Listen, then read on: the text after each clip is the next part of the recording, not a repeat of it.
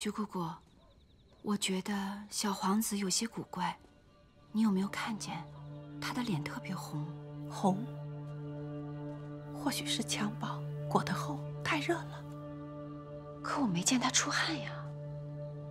王妃，皇后把小皇子捧在手心，又有这么多人看守，不会出什么岔子的。我抱着他的时候，还闻到了一股酒气。酒气，对，刚满月的孩子，怎么会有酒气？王妃，你不要多心了。哦，或许是我自己的酒气。叩见王妃。王妃回来了，大家快来啊！王妃回来了，快来，王妃回来了。叩见王妃，叩见快起来！王妃，你终于回来了，我还以为你忘了凤池宫，忘了我们了。怎么会？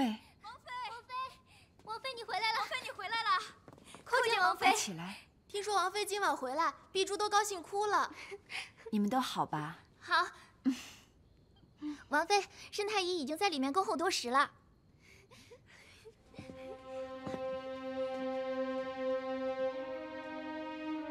外面的人都说，皇宫是一座欲望之城，数不尽的财宝、权势，享不尽的荣华富贵。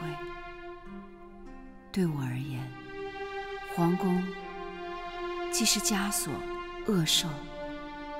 却也如曾经的相府一样，是我的家。我爱他，亦怕他。而今我终于明白，我爱的是宫中的亲人，怕的却也是他们。